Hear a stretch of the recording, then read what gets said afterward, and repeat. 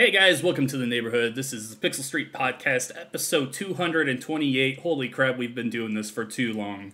I am your host for this week, John Hansen. Joel is out doing something. He said he's cooler than you and he doesn't want to be around you. So I guess you should just say I'm the coolest host on this podcast now. But to make up for that lack of person, I've brought in Chris Waterman, old friend. He, it's been a while since you've been on the show. How you been, Chris? I've been doing awesome.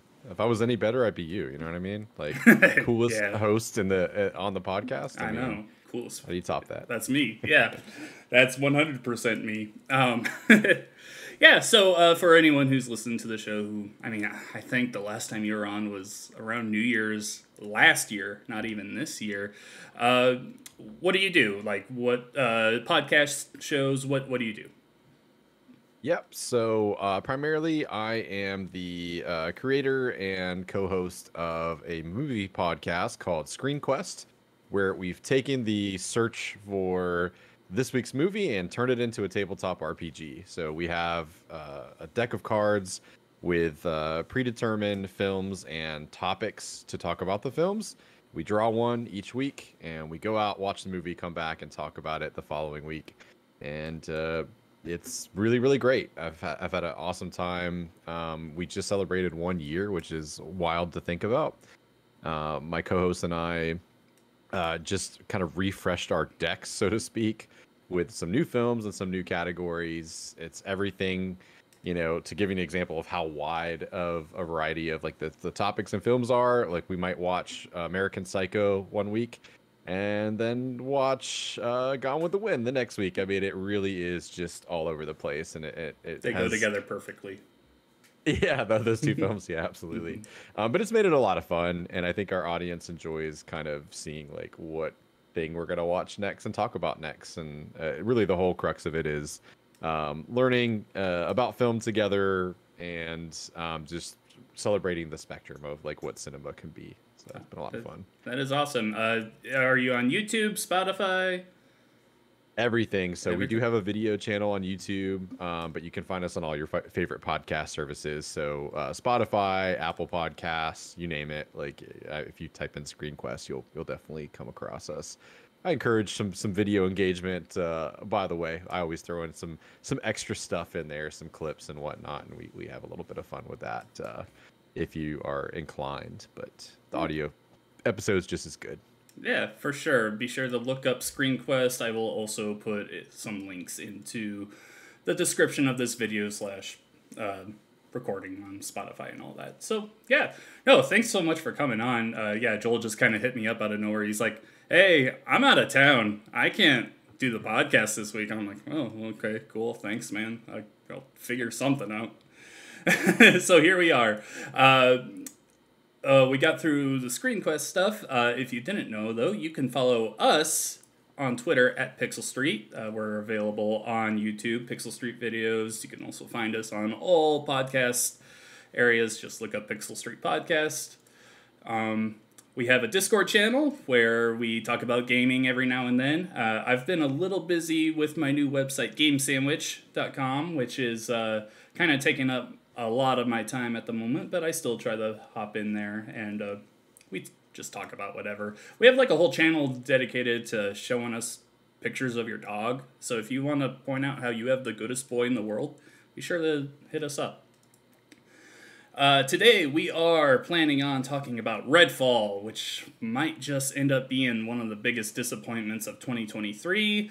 Gonna get into some Star Wars video game talk, and uh, you know what? Just kind of go from there. We'll see what happens. Let's start off with Redfall though, because this is a game that I was very looking forward to this year. Uh, it's made by Arkane Austin, a studio that I very much enjoy. Uh, I love the Dishonored games. Uh, while I didn't think Deathloop was one of the best games of that year when it came out, I still enjoy that game. I just love everything that Arkane has put out over the last decade plus. But it would appear that Redfall is severely a step backwards for them. Uh, just some notes here.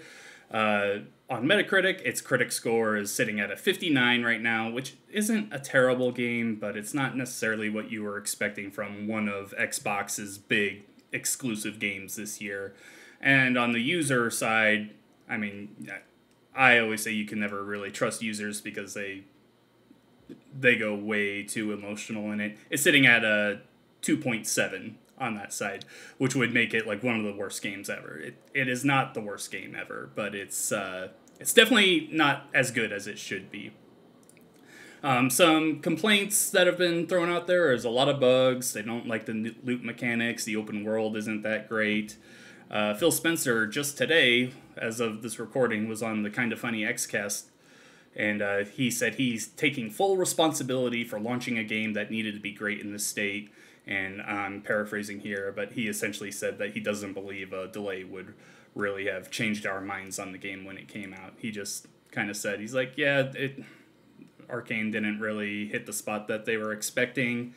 Uh, there probably could have been like less bugs and stuff when it released if you delayed it, but he's like, this is largely the game that you were going to get regardless.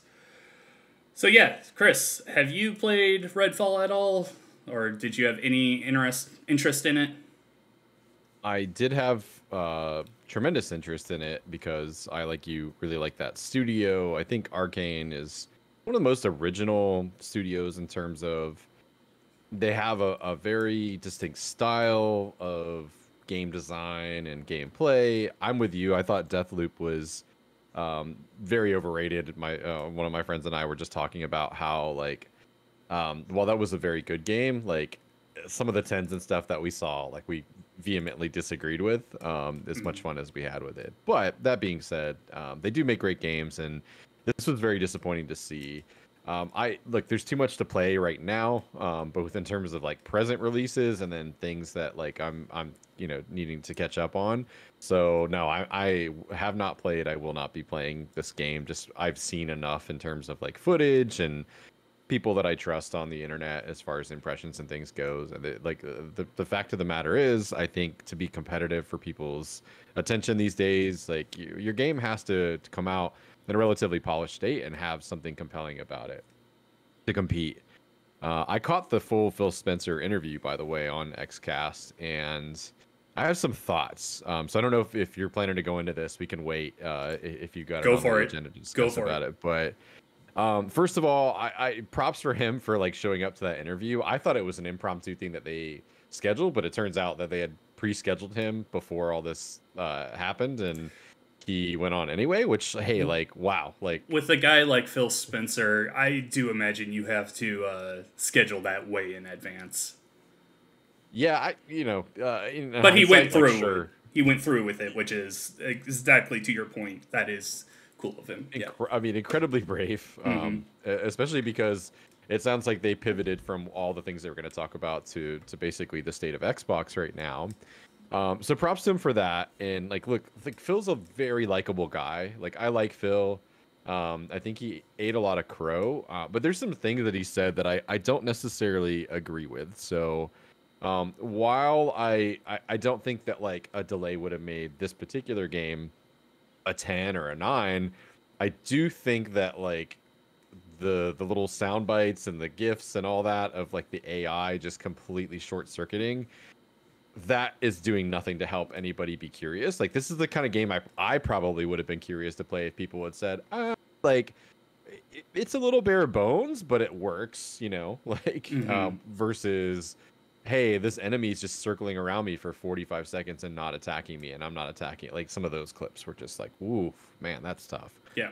Uh, the other thing that I really disagree with that he that he said was more about um, competition in, in the marketplace with uh, the days of um, winning like the console wars in terms of like hardware sales are largely over because people are entrenched in their libraries. And I, I think that's partially true. Like, listen, like I'm primarily an Xbox gamer, like that is my primary console, largely because of what he spoke to. Like, I have a digital library.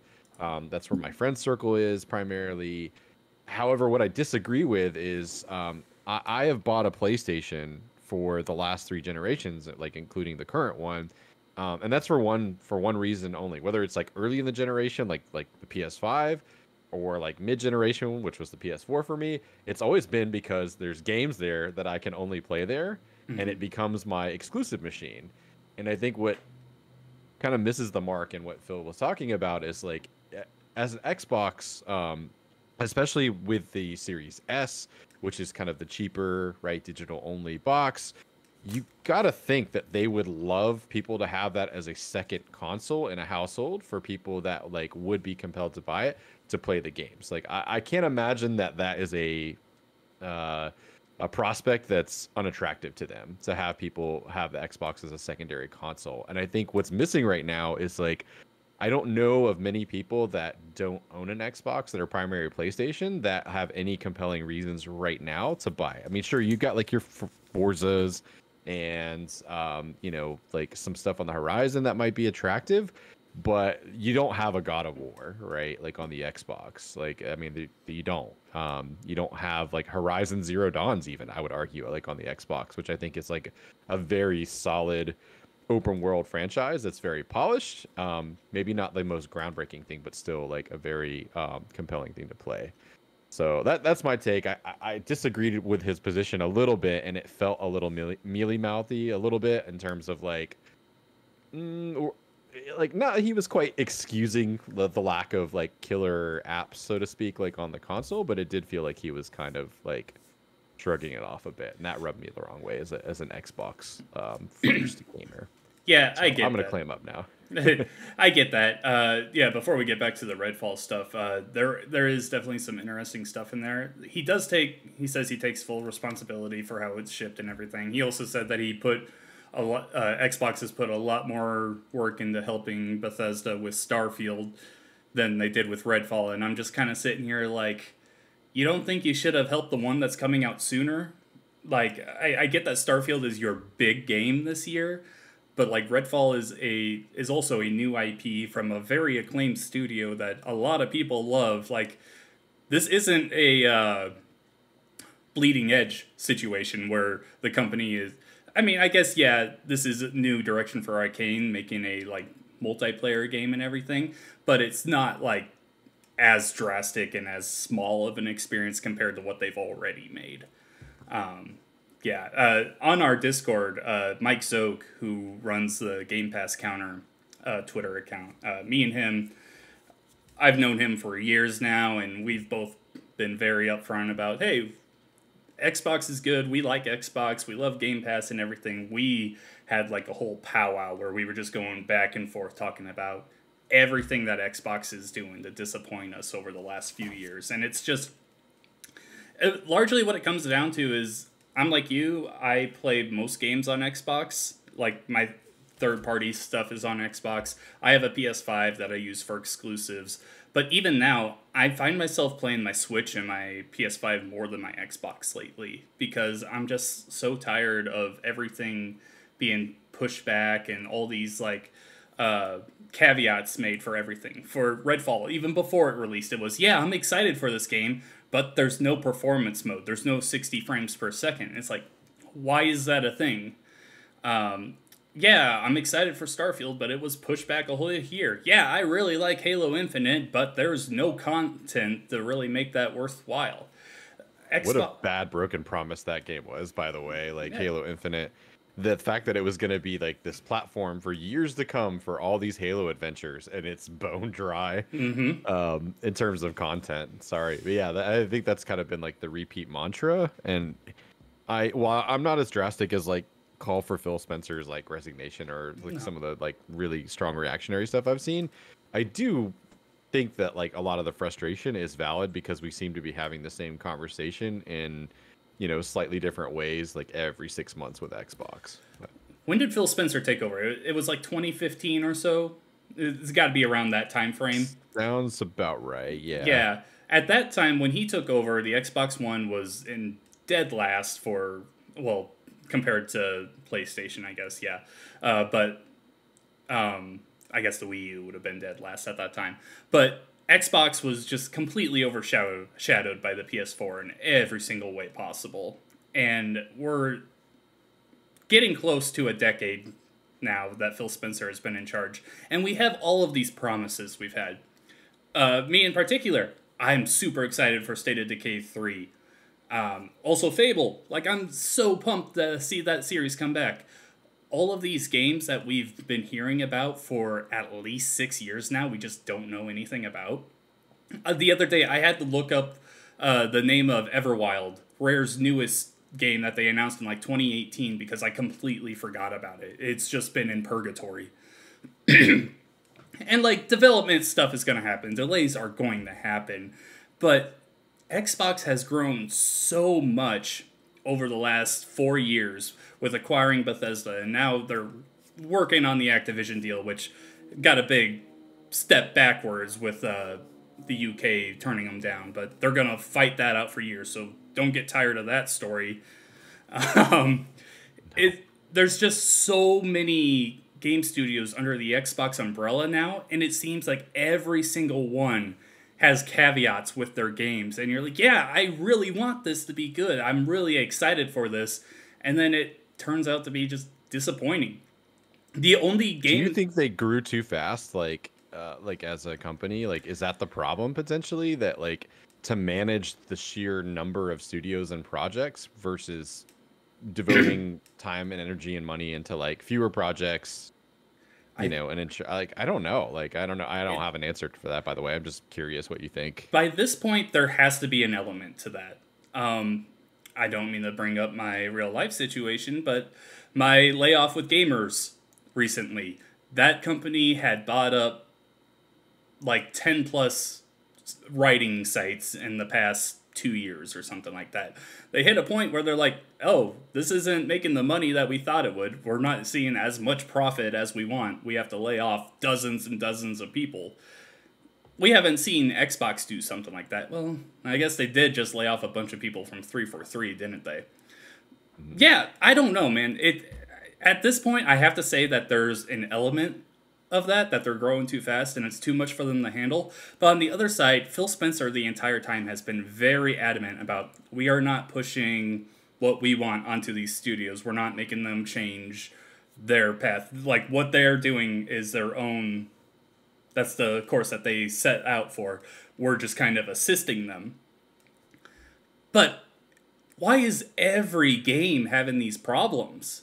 it, like there's something is wrong there. I love Phil Spencer. I don't think you need to get rid of him because of how drastically he turned the Xbox messaging from when he took over. It was not good when he took over. No. But I do at this point I have to think that there's got to be some other leadership changes in there because something's wrong in there. It, like it, we can't keep seeing these stories week after week and be like, oh yeah, no, they're gonna get this turned around. It's been at least four years that we've been hearing this stuff now, and I'm just tired of it. Like I love Xbox. I I'm so excited for so many of their upcoming games, but I'm so tired of getting these bad news stories. I, I've pivoted from like being like completely excited to like largely nervous because maybe it's not like a leadership change, but maybe like fundamentally something in their process and oversight like needs to change because I mean Halo is your flagship franchise. Like how do you let that of all things go so sideways? Like that's mm-hmm. what really blew my mind was like it was supposed to ship with the console, it didn't fine, but like that is your mascot like still like Master Chief is your mascot. Like how do you make your flag your like the flagship thing that most people associate with Xbox go so bad. And that's um, the thing. It started out great. Like that Halo Infinite's life was brilliant when it launched the multiplayer early. Everyone loved it. Everyone was playing it. They loved it so much. Then the campaign come out. They're like, "Yeah, this is a very good campaign." And then it just went stale because they couldn't stick the landing. And well, they were like, "Oh, by the way, there's no um, online co-op." Like, yeah, you know, yeah, we're um, pushing all this stuff backwards. Uh, you'll get Forge in maybe a year. It's like, come on, man. Yeah. I enjoyed the initial promise of what Halo Infinite was supposed to be. Like, you know, um, I I thought it was a really fun campaign. I, I was very sad to not be able to play that with my brother. Like him and I traditionally have played through like Gears and Halo campaigns, and it was like, ah, man, this really sucks that we can't like hop online and like do this together. Like there were so many moments where I was like, oh, having a second player here would have been so much fun um, because it's it's a cool sandbox, right? That world and um, same thing with the multiplayer. Big group of us really into it, and then it was like, oh, Like it's just there's not they're not adding content nearly fast enough, and oh the battle pass is super grindy and like.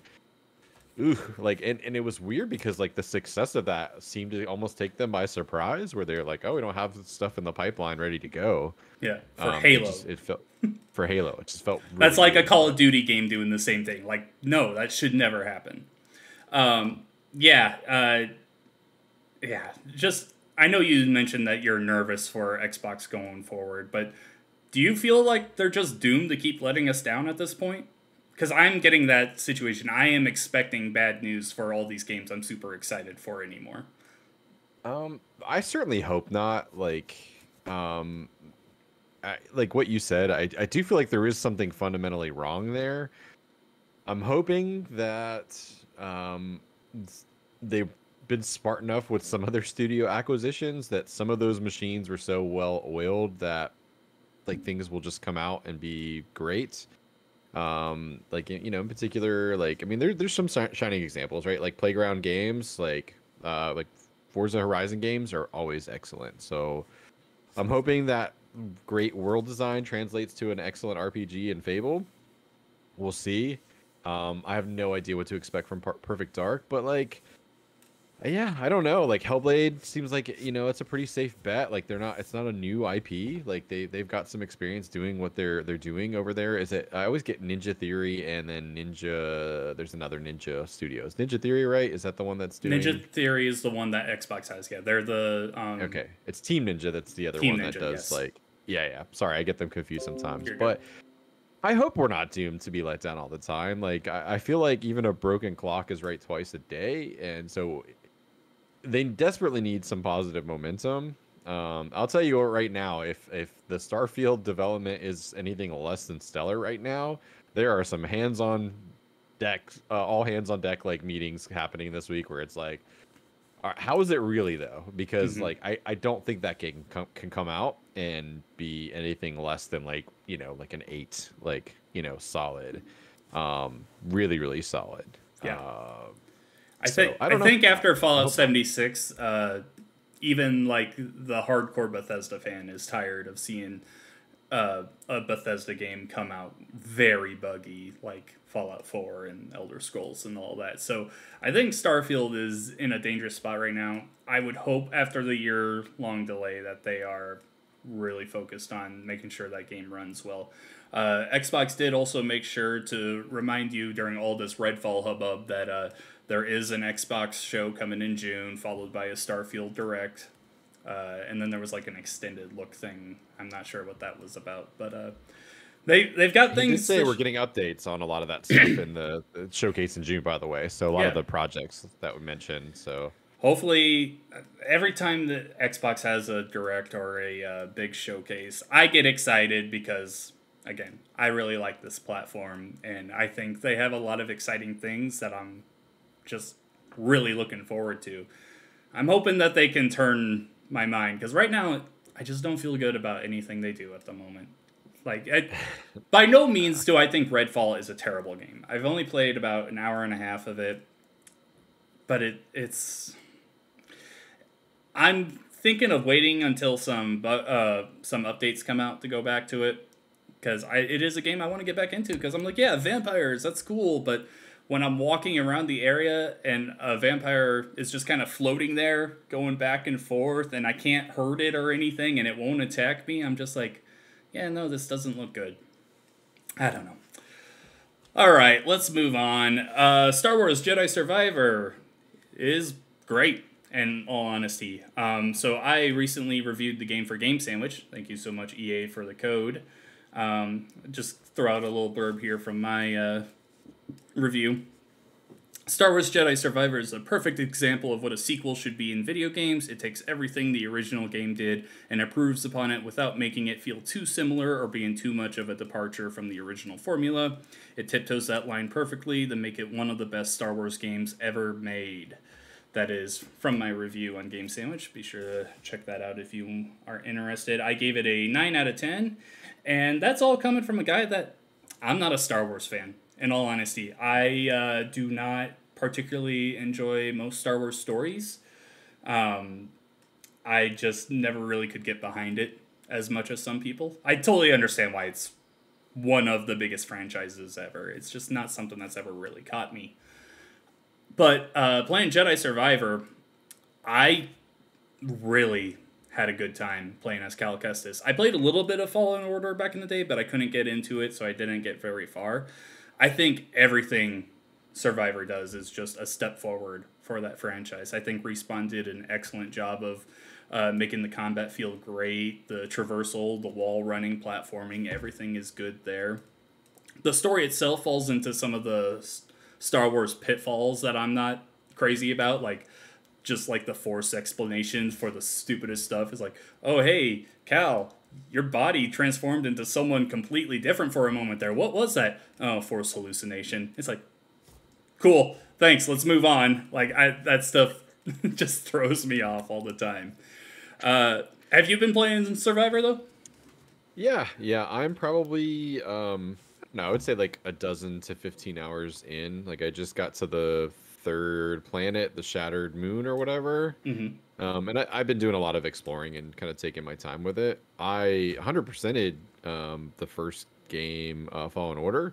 Um, I enjoyed it. I thought it was like exactly what it ended up being, which is a really solid foundation for something better to come. Which is what this. I think you nailed it. Like in your review, this is very much um, a fantastic sequel and a great way to build upon a solid foundation. My favorite part about it is just the fact that like picking up the sticks like in the opening hours of the game, like I was as powerful as I was, like with the exception of my health bar and some other little yeah. minor things, but had all the abilities and stuff that I did at the end of uh, Fallen Order, which was great because it's like, ah, thank God I don't have mm-hmm. to deal with the bullshit excuse of like, yeah why I lose all these powers and like force amnesia. Shit, like yeah, uh, like whatever dumb reason, like video game reason. Mm. Um, and instead, like adding to that, like was really awesome because it's like muscle memory kicks in where it's like, oh, I can just like deflect these like blaster bolts back and do flips and wall run, and it's all stuff that you like don't do at the beginning of um, Fallen Order. So I, that that's been one of the design choices that I really appreciated. Um, I think the open world design far more compelling. The fact that you have fast travel, mm-hmm. great. Like, and then um, yeah, the story. Um, I, I love Star Wars, but I'm the first person to admit that like it, most of it is very generic, and that's okay. Like, I will take mediocre Star Wars over no Star Wars like any day of the week. Mm-hmm. And um, I'm really just I'm having a good time with it. I'm taking my time and just kind of soaking it in, and um, occasionally getting frustrated at something that like I'm way too underleveled for, but I get stubborn and I'm like, no, I'm gonna beat you. Mm-hmm. like, yeah. Um, there are some aspects of it that I'm not crazy about. I don't love. Uh, I know before we started recording, you were talking about how you're a big Dark Souls fan. I am not a yes. Souls like fan. Um, for me, I would if if I were designing this game, I would get rid of the uh, meditation points and just make a standard checkpoint system. Just because uh, I don't like like fighting through this huge area, dying, and I I missed like a shortcut opportunity, so now I have to go through the entire thing uh. again. That just always bugs me. And then the oh, I'm I'm low on health. I'm out of my stim packs. Let me uh, uh, rest up here. Okay, now I have to fight through all these guys again. That kind of stuff just gets on my nerves. Um, that being said, I also was completely fine with just turning the difficulty down a little bit. Uh, I did easy mode, whatever is between the story and the basic. I think it's Jedi Padawan probably is what it's called. Um, I had a good time doing that. Uh, it didn't make it too easy. There were still times that I died, but uh, it also wasn't like nail grindingly hard for me to get through things.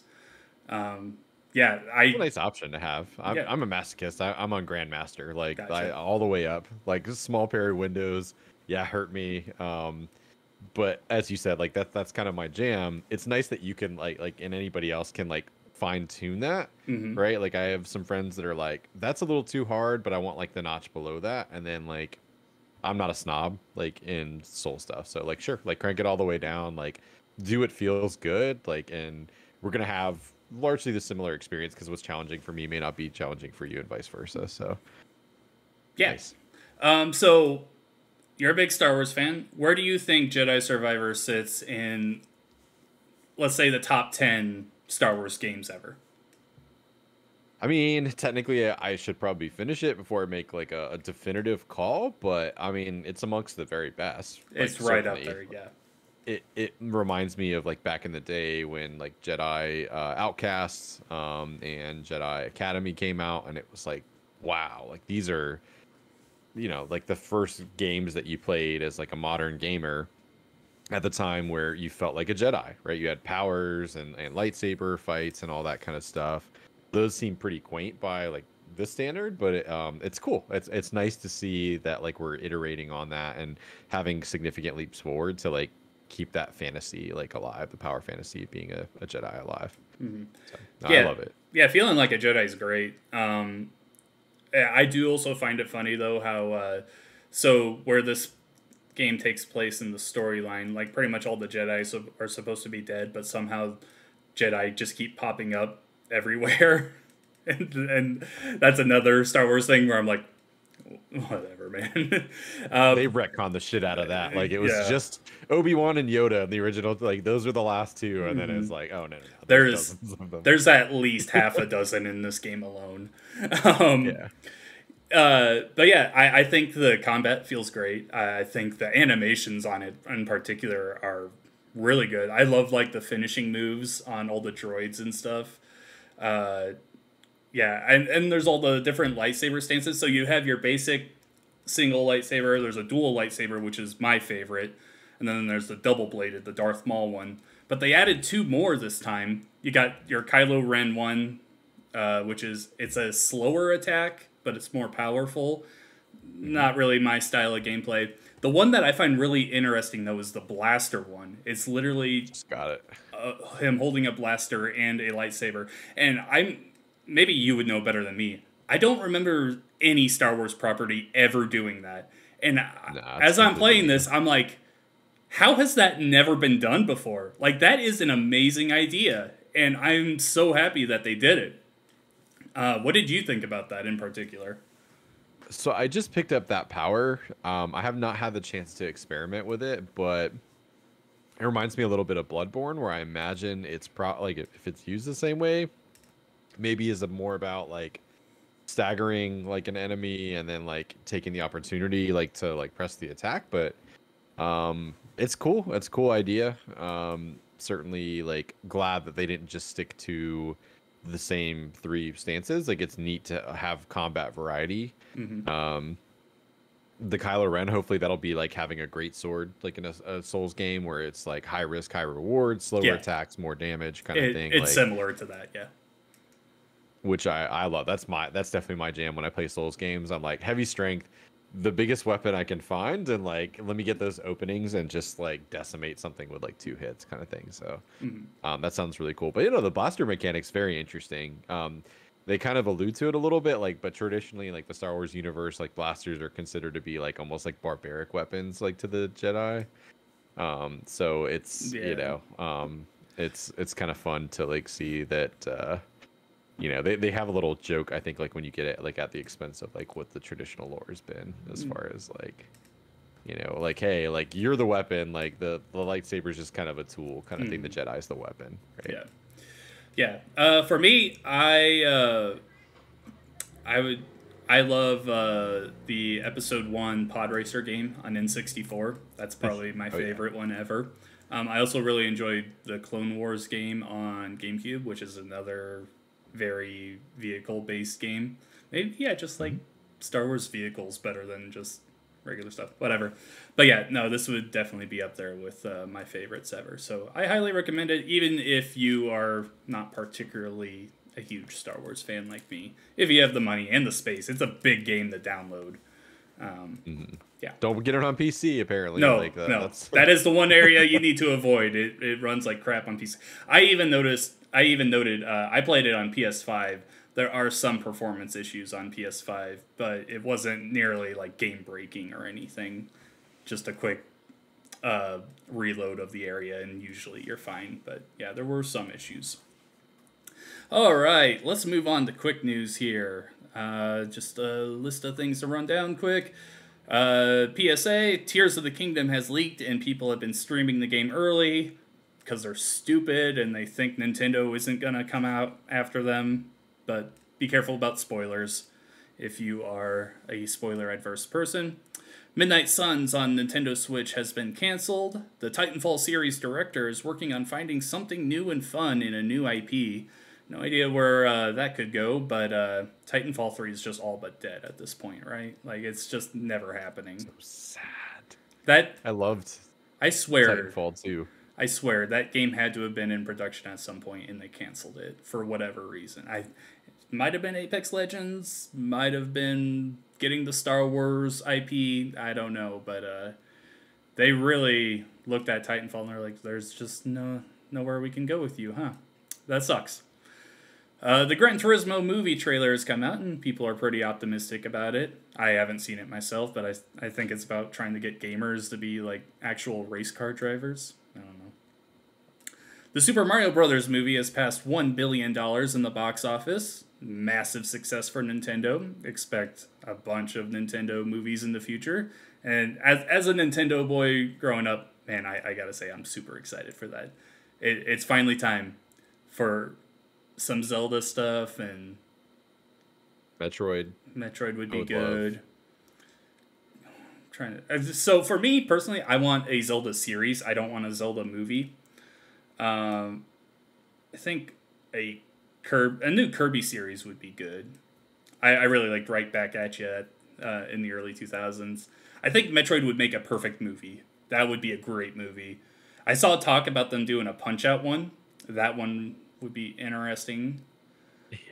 Um, yeah, man, just give me all this stuff. I'm I am so down for video game movies and television series being good these days, and I am I. It just makes me so happy after all the We're in the pain. golden age. After all the pain we've gone through, we're in a good time.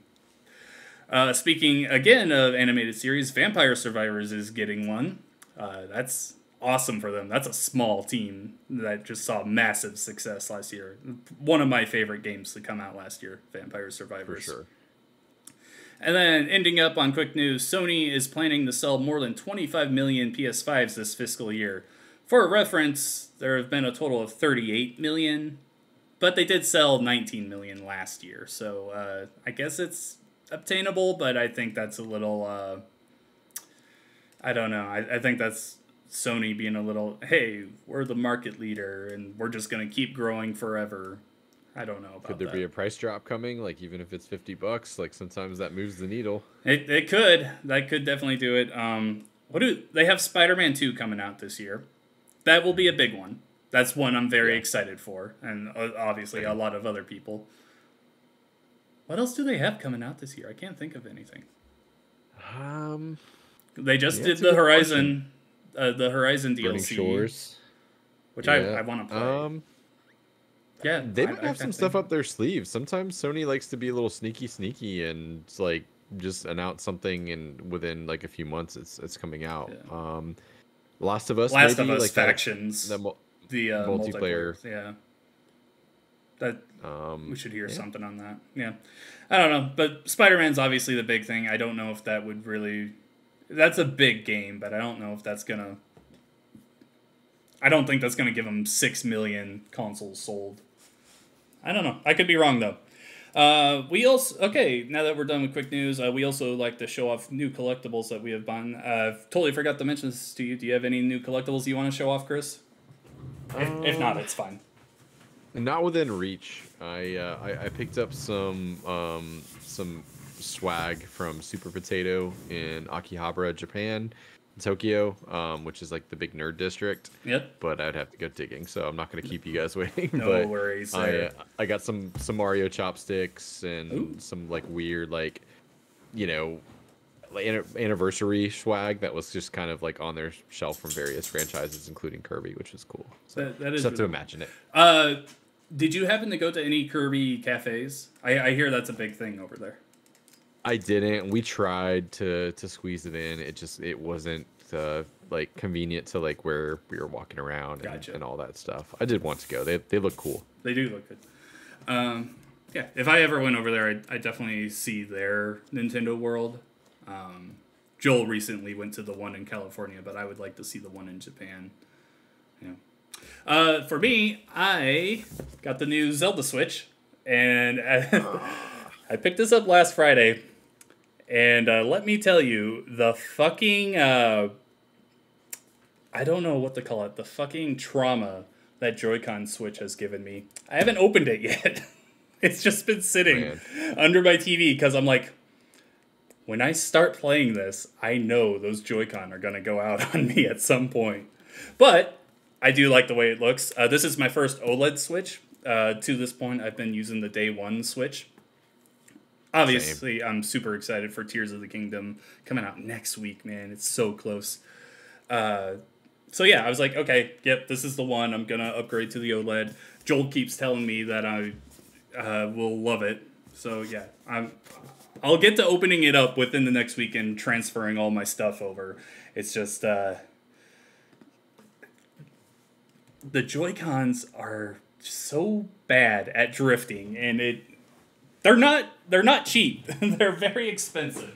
So I get so gun And even shy. even if you get the free repairs, it's not like a quick remedy. Like it yeah. takes a while. And even um, then, they might just you, send you a regular Joy-Con in exchange. Yeah, no, it's not. It's not ideal. Um, let me ask you because like you're the Nintendo guy, um, and I have terrible luck with shit like this. Like I've been considering because I have a, a, literally like a day one uh, Switch as well. Um, what's the likelihood? Like i see rumors and i kind of follow this like of there being like a like a switch pro. Like how much stock do you put into that? Am i going to get burned if i buy like a, an oled switch to be able to play like tears of the kingdom? It's primarily just like a better screen and like that that's about it right? Like the switch oled doesn't have anything performance wise that's the switch oled different. the switch oled makes the handheld experience much better better screen. Uh, it also has a built-in uh, ethernet cord for the dock, which is good. But otherwise, it's pretty much all just handheld stuff that really the big update is on. Um, as for a Switch Pro, at this point, I would be shocked if Nintendo announced a, a Switch Pro. That being said, I think their next their next console is coming out next year. I, I would I don't see like an upgrade to this model of the Switch. I see whatever the next thing is for Nintendo. Whether that's a Switch 2 or Super Switch, whatever they call it. I don't see them. I don't see them going away from the hybrid model that they have here because that's no. just been too popular for them. Um, but I don't see like a Switch Pro. I, I think it will be just the next iteration. Um, I've been considering, you know, upgrading to the uh, the OLED specifically for Tears of the Kingdom because it feels like apropos, you know, like mm-hmm. having that's the reason I bought the Switch. Like I couldn't have cared less about anything other than like, ah, oh, shit, man, like Breath of the Wild. Though that's yeah, I mean, that's what. Well, that was the reason to get a Switch in the early days. Ah, like on day was, one for sure. Yeah, that was all there was. It, it was there was uh, Breath of the Wild, one two Switch, which should have been a pack-in game. That game did not need to be sixty dollars. Snipperclips was good. I remember that. That one was good. Mm-hmm. All and, games that I bought, and then indie games were like the what saved it for me. Like after mm-hmm. I was mm-hmm. done with Breath of the Wild, Shovel Knight, which I had never played, and Binding of Isaac, like mm-hmm. gave me so much joy and time because like I had the three campaigns in Shovel Knight, and then Binding of Isaac. It was my first roguelite where I was like, oh, this is a really cool like game model that I mm-hmm. could just go on runs like you know for 15 minutes at a time. Yeah. Um, it's looking like the rest of this year is probably after Tears of the Kingdom comes out. There's not going to be much from Nintendo. Um, I mean, obviously they could announce something, but I don't think it'll be anything big. Um, so yeah, I I went with the OLED because I'm a huge Zelda fan, and I was like, okay, I'll make this upgrade. I don't even if the next console comes out next year. Obviously, I'm gonna get that for work and everything, but uh, it uh, yeah. it, it doesn't really worry me I, I look at it kind of like the PS4 Pro. I the OLED is not as big of a step forward as like the PS4 Pro and the Xbox Series X, but I'm looking at it like that just to justify it. Okay, let me justify my bad financial decisions. Okay, no judgment here, man. No judgment here. All right. So yeah, now let's uh, talk about what we've been playing. Have you been playing anything besides Star Wars lately? Yes, so I just had a trip to Japan, which meant a lot of time on planes and trains. Um, I split my time like uh, fairly equally between Persona 4 Golden, which I never played. I was playing that on my Steam Deck, and um, it's fun. You know, it's not Persona 5, which is like you know very modern and and um, I think a perfect game or as perfect as you can get. Uh, but I can see like it still has like the, the appeal, um, despite being like over 10 years old. Um, and then I was checking out the Castlevania update for Dead Cells, which was very cool. I've heard that's Um, really good. It was, yeah, it's very very neat. Um, this game's still hard, but I but I love it anyway. And then um, naturally, like I was gonna play some some Dark Souls. I'm not gonna like travel and not uh you know play my favorite game. So um that is primarily it as far as games all old games uh or like old games um with an expansion a new expansion kind of thing but and then of course jedi um survivor now All right, yeah. Uh, you also mentioned, I think, before we started recording, that you met uh, the co-director of Dark Souls. Yeah, craziest thing in Golden Gai, uh, which is a um, series of winding alleys with micro bars. I met uh, co-director of Gar- Dark Souls 3 and the uh, chief level designer of the original Dark Souls. Um, happened to be sitting next to my wife, and I struck up a conversation with our bartender who was dressed like Ness, like the uh, Nintendo character. And I was like, "Oh, do you like like games?" And he was like, "Yes." And I was talking about playing my Steam Deck like on the way over um, seas, and he said, "Well, this this this guy makes games," and he gestured to this gentleman who was quietly sitting at the bar. And I asked him like, "Oh, that's really cool. What company do you work for?" And he said, "From Software." And like I I I must have like turned pale, and I was like, "What do you do there?" And I was I thought he was gonna say like, "Oh, I'm a coder or something," and he's like, "Oh, I was a level designer on Dark Souls." I directed Dark Souls 3 with Miyazaki-san, and uh, like I lost my mind. I was like, I cannot That- believe this is happening right now. That is so cool. Um, so that is such an I awesome got to spend story. An hour talking to somebody who's responsible for my favorite video game of all time, and uh, where, where I like truly died, my soul left my body was um, like I asked like what his favorite like section of Dark Souls was that he designed. He's like, oh, I, I made Sen's Fortress, which is like a notorious booby trap filled climb up a tower that like he pushes a lot of people off. Like if you make it that far, a lot of people quit there and I was like, you know, it's one of my favorite sections now. I think it's great design, but I hated it and I almost quit the game. And he bowed and said, "You're welcome." And like my soul left my body. I was like, "Oh my god, That this is definitely the personality of somebody who would make something like that." So I do love that he totally leans into like the um, masochist kind of thing. Is like, yeah, no, I'm here to ruin your day. That that's an Absolutely. amazing thing to think of. that yeah, that, that was cool. that is such an awesome story. Um, yeah, for me lately, I've been playing some MLB The Show 23. Uh, Hmm. My Cardinals in real life are just so bad. it's I see the tweets. I see the tweets. I feel your pain. it's not good. It's it's not good. But uh, hey, my team's good, and MLB The Show. Nina, stop. Um, yeah, I've been playing more Diamond Dynasty this year. Usually, I play just franchise mostly, but I've been trying to go into the other stuff more. I started out playing a lot of Road to the Show, kind of fell off that. Now I'm doing Dynasty. I've also been playing a lot of online co-op with my friend. We'll hop on and play a game or two against some people, and yeah, I'm just really enjoying. How does that work? Co-op like in a baseball game? I'm totally ignorant. Yeah. this, so, So they curious. just started this last year. Uh, there's two v two and three v three. If you're two v two, when you're in the field, one player plays the pitcher and the catcher, and the other player plays all of the outfield and all of the infield. And in between innings, you swap. Uh, if you're doing three v three, it's pitcher catcher, one person for the infield, one person for the outfield. So that's how they do it. And then in the when you're batting, you swap back and forth between batters. So yeah, it's a really good idea, and I think it's a lot of fun. It and it, I mean, it adds more value to a game that you would normally think of just like a one v one situation.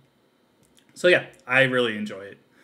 Um, How long does a typical like game last? Like a baseball game? Like if you're playing a match? Uh, I I mean, obviously it depends on how it's going, but thirty to forty-five minutes, I would guess. Uh, if any team is up by ten after I want to say four innings, there's a mercy rule to end it right there. So Mhm. we've had games end in like twenty minutes or so, so it's not bad. Uh, yeah, no, I really enjoy that. Um, I've also, course, I say this every week. I've been playing Overwatch 2. I'm a big Overwatch fan. Uh, I've been playing some competitive. Uh, the newest hero, Lifeweaver, is now in comp matches, and it is. Uh, I'm not in love with him, but there's some people that love putting him on my team and ruining the experience. That's for sure. He has this ability where he. Uh, so he's a support, and mm-hmm. he can grab a teammate that's far away from him and pull them closer to him. So it's meant to be uh. as like, oh, you're falling to your death, let me grab you and save you. Or, hey, you're in the middle of the enemy team, let me grab you and save you. But this one ability has so much potential for trolling in this game. Like people will people will go and use their ultimates and you're like, "Oh, that's a great opportunity for them." And then he grabs them and pulls them away and just ruins it. And there's sometimes where you're you don't even mean to be doing that. You just happen to hit it at the wrong time and you just completely ruin what could have been a team wipe move. Uh, yeah, so that stuff is always aggravating to me, but whatever. I love Overwatch. I'm still going to play it. Um, what else? Oh, I've also been playing Loop Hero. Uh, have you ever played this game? So man, it is one of my favorites. All like, right. Absolutely adore that game. I uh, started this a few weeks ago when it came to Game Pass, and it's not a game that I pour tons of hours into, but it kind of sits in that same area that Vampire Survivors does for me, where I love just booting it up and wasting time in it. Um, the one area I, I wish it was better on xCloud. So Vampire Survivors, when you play that, it's got all the touch controls. I wish that was here in Loop Hero because it's such a basic game. Like you yes. don't need to have like a full controller to play it on your phone. Uh, but that's the requirements at least right now. That said, though, Loop Hero is addicting. Uh, just building up my guy as he goes around the loops constantly. I'm, I'm like, yeah, no, I'll do this. Put on a podcast and not really think about what I'm doing for a while. I, I do really enjoy that game.